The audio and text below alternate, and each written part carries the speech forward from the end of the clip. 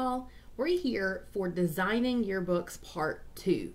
Now, I'm working today in Sanderson High School's yearbook because this is a plan that the advisor and I built together, and I thought showing it to you uh, might be helpful. So, the first thing that I want to show you, I'm pasting this in from earlier, is the base of their design.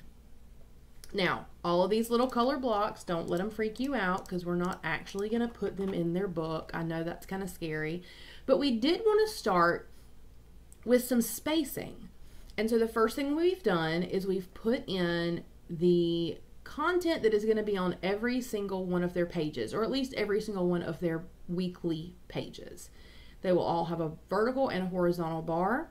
They will all have five picture boxes, each with the date of that particular day, and they will all have the month listed. Now they have chosen a color scheme so each student will be allowed to change the color of these bars, these gray bars, to match what's happening on their spread as long as they stay within the color scheme chosen by the staff. So these crazy color boxes here are there for, again, for spacing. We want to make sure that we are going to maintain an eye line. So we've got that kind of going on right here. Um, and we'll, we'll tweak all the spacing perfectly before we're done. But basically what this is going to do is allow them to build a module design. We don't know what's going to happen week to week until we get to that week. And so when you begin to plan your week, and you're in your planning stages, and you say, well, we really want to do a personality profile this week, or we really need lots of interviews this week, or we really need um, very, very little has happened this week, so we're just going to do a couple of bigger stories. Um, then you're going to want to start to think through what do we need our spread to look like in order to feature the stories we're covering. Now, we don't want to just let the kids go haphazard designing because then nothing will match. But we also don't want to just give them a set layout if the layout doesn't fit the content for that week. So that's where these crazy color boxes come in. We've blocked off some spaces that can be manipulated as needed. So the students will start with this and then they can make choices. Let's say they don't have a big story this week, they have a lot of little stories. They could get rid of the green box and then they could copy and paste these and have a couple of more small stories up here. Or, I'm just going to undo.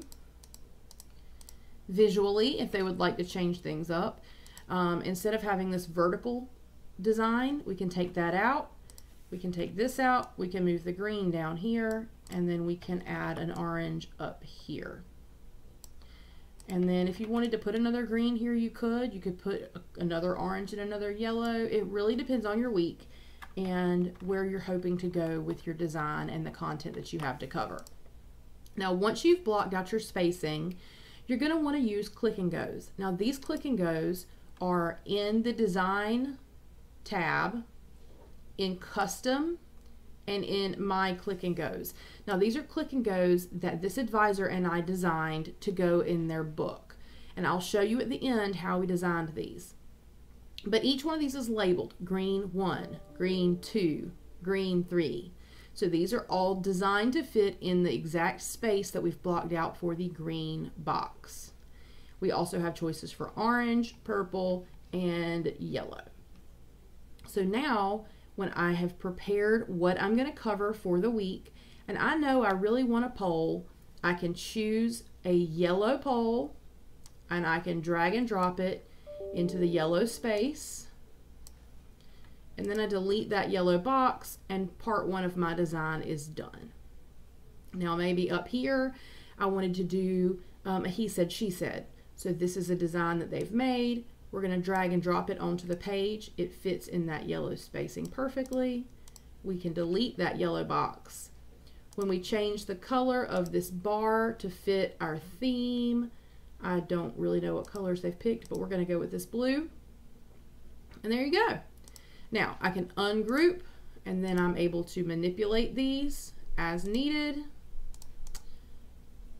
And now let's try a purple one. So let's say we go with purple number three. You can give them as many choices as you want to or as few choices as you want to. So there's purple number three. Ungroup that. And let's have a look at some of these greens. because I've got the green on the right side of the page, I'm going to choose green 1 as opposed to green 2 because green 2 would give me trapped text. And I think you all know I hate trapped text. So let me drag green 1 in. Now my text is hanging off the edge of the page. Delete that green box and then I can ungroup this and begin to work. I need an orange and I think I'm going to choose this orange right here because I like that funky little angle. So let's drag and drop, delete the orange. And then here we have one more yellow. Um, and one thing I don't think we've done much is a student profile. So let's drag and drop that in there, get it in the right place. And we have the basics of a really good layout. It matches the rest of the theme in the rest of the book, but the students were given some choice. Now I would want to tweak this a little bit to make sure your eyeline is solid, to make sure everything's in the exact right place, but it gives you a starting point. So let's go up here and look and see what they've done. Check this out. They've dropped in their colors. They've dropped in their layouts. How fun is that? Now you'll notice he said, she said is in the same place, but this was actually over here on the right side when I did it. And they may have chosen a similar purple mod, but they chose a completely different orange mod and they put it in a different place. I love how this gives your students choice, but it keeps the continuity of the book as you go. So let's talk about how you make these mods.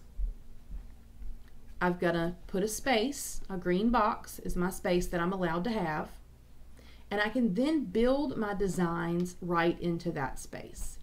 So if I go to art and image frame and I drag and drop in whatever I want to have in here,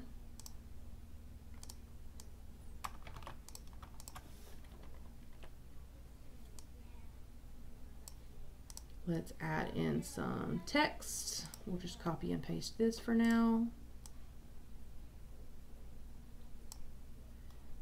And let's see, what else do we want to put in there? Let's do this thing right here. I don't know why. It just felt like fun. So I'm going to pop that in. All right, now, in order to save this as a click and go, I'm going to delete the green box I'm going to select everything that was in the green box's space. And I'm going to go to File, Save as Click and Go. It's then going to prompt me to enter the name of my new Click and Go. Now that was a green box, so I'm going to name it Green because we're going to make it easy on the students. They need to know which designs fit in which space. Now, I'm not actually going to save this because that's pretty ugly, but I want you to see how this works. So when we hit save, it would then populate in the designs and then the My Click and Goes, which is at the top under custom. Then you would have that you could click and drag on any spread. I hope this helps you understand a little bit about how you can manipulate your designs in a way that fit this weekly coverage um, and still maintain some semblance of order throughout your book. If you have any questions, as always, just reach out to us. We are here to help and we look forward to seeing what you come up with.